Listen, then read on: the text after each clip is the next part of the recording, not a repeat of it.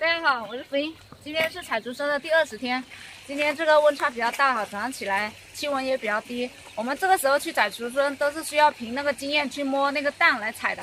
感兴趣的朋友跟着福音一起去看一下。